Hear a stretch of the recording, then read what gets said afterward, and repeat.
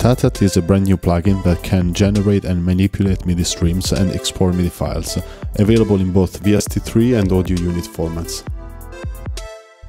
Tatat is not exactly a plugin made to respond precisely to the user, but it's more of a lunatic generator of ideas.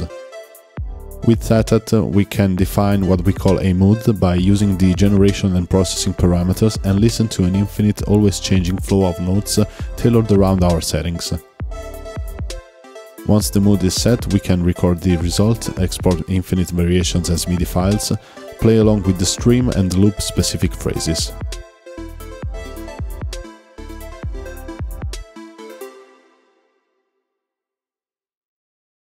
Tatat is a plugin that outputs MIDI and it's pretty simple to set up. In most DAWs like Ableton Live, Bitwig, Cubase and FL Studio, we must launch Tatat in VST3 format. Then use the DAW's MIDI routing to set it as the input of the MIDI track where our target instrument is located.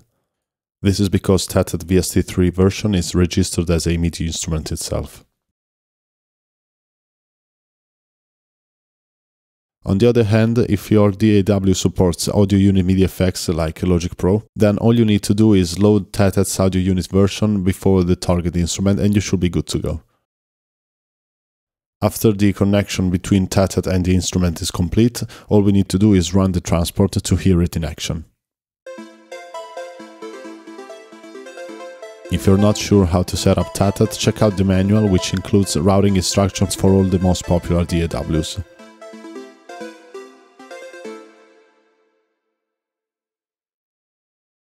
Now that we have it ready to go, it is time to explore the basics of string generation. Everything that's located in the upper part of the plugin is devoted to the setup of notes and their distribution over time. Starting from the left, we find the time section.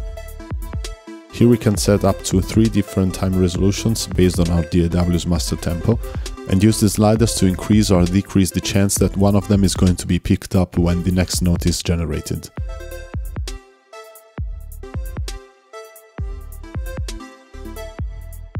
On the right of these sliders, uh, we can find the ratio parameter, which scales the time resolutions by its factor, allowing for everything in between plain multiplication and unsynced transformations of the stream. The dial is bipolar, therefore if its value is located in the middle, nothing changes and the scale factor is set at 1. Moving it to the left will decrease it, making the phrase go faster, while it's going to have the opposite outcome when turned to the right.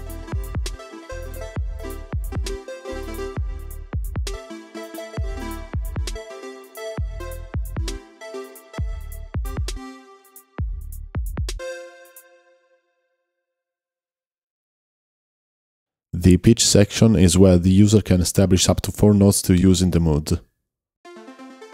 Each note has its own chance slider which works in the same way of the time sliders, with higher values meaning a greater chance for the respective note to be chosen for the sequence.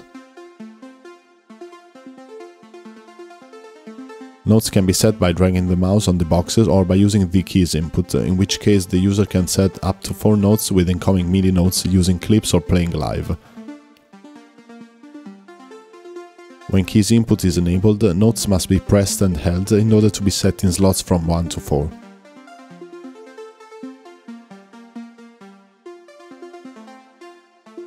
The bichord section is where additional notes can be set to be added on the top of the four main notes. We can establish up to two different intervals uh, which can be balanced using the slider in between them, which also represents a chance of one of the two being chosen over the other.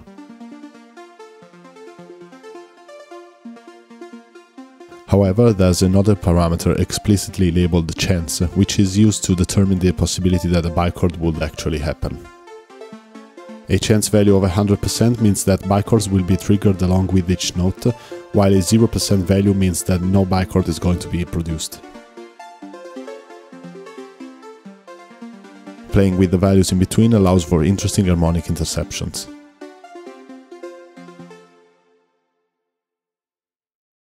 We now know how to set up the core idea of the mood.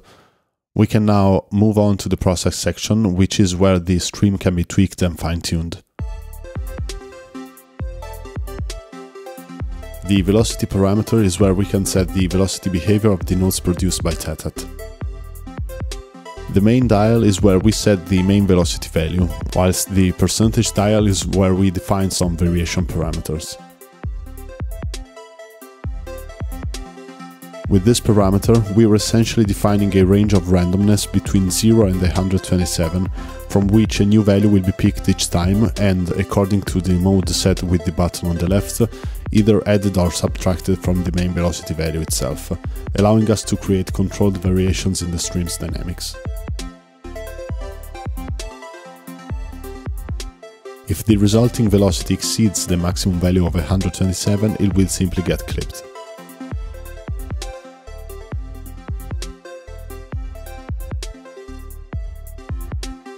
Less dial can be used to insert random silences in the stream, essentially skipping out on some of the generated notes. This one is also a chance-based parameter.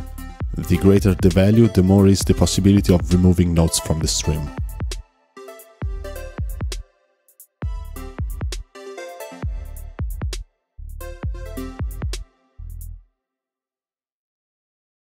Delay allows for delaying the stream by a certain amount, which corresponds to a value between 0 and 100% of the currently selected time resolution.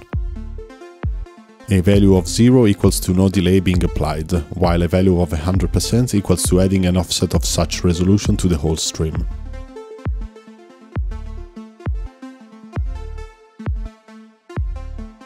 It is also possible to listen to the original MIDI stream by activating the dry button in order to add more intricacy.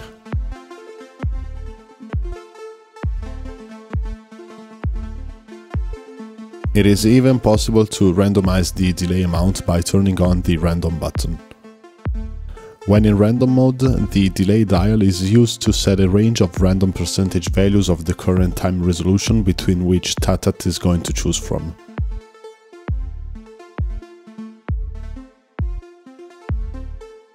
The length parameter is used to establish the length of notes produced by TATAT.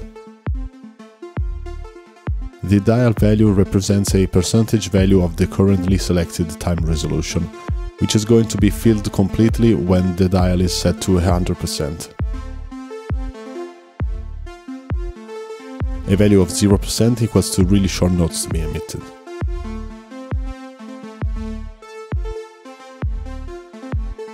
Similarly to the random mode of the delay parameter, it is possible to define random length values to be set with each new note. When turning on the random button, the length dial is used to set a random range of percentage values from which TATAT is going to choose from.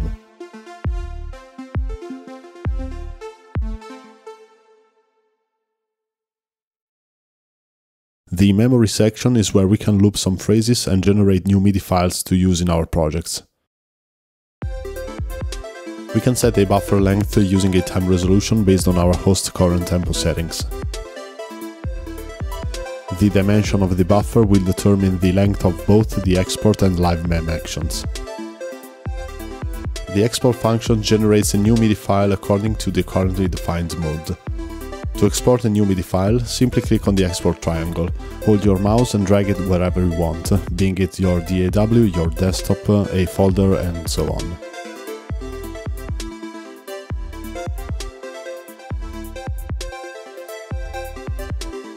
A new MIDI file is generated each time, creating different variations, useful to define a set of fixed ideas around the same mode.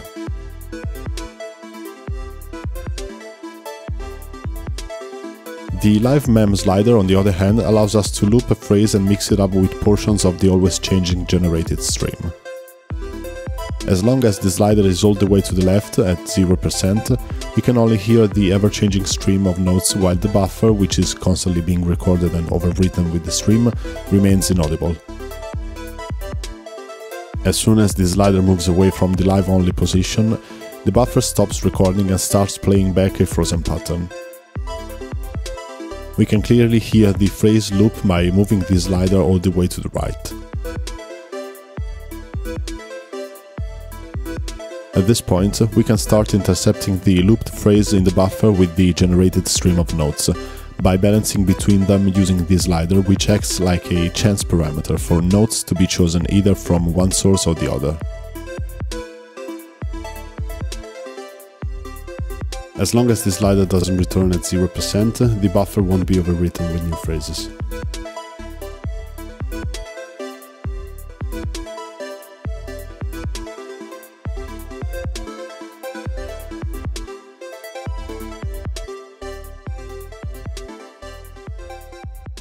Tatat is a creative tool to assist and help producers and musicians to generate new ideas, becoming a great starting point for writing melodies and a perfect controller for virtual instruments and hardware gears alike. Explore it and integrate it within your compositions. We are truly curious to listen to what you're going to create with it.